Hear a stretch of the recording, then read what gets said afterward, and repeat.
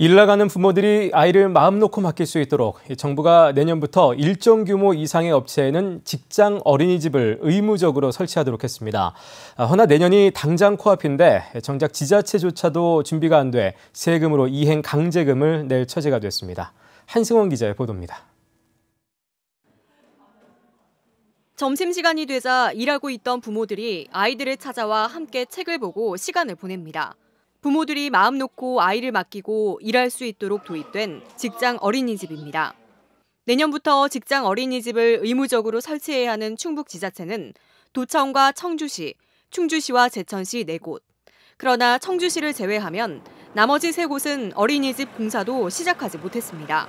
충주는 청사 뒤 테니스장에 어린이집을 설치하려고 설계 용역비 8천만 원을 편성한 상태.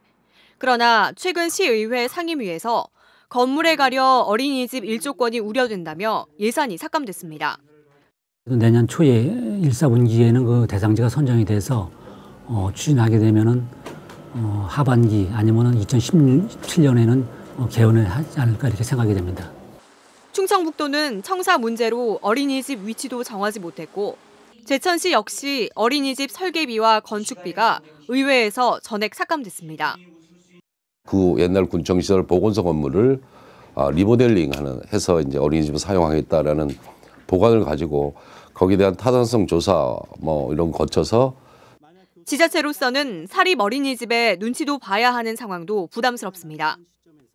내년부터 직장 어린이집을 운영하지 못하면 연간 최대 2억 원에 이르는 이행 강제금을 내야 하지만 정작 지자체도 준비가 안 돼 주민 세금이 쓰일 처지에 놓였습니다. MBC 뉴스 한승원입니다.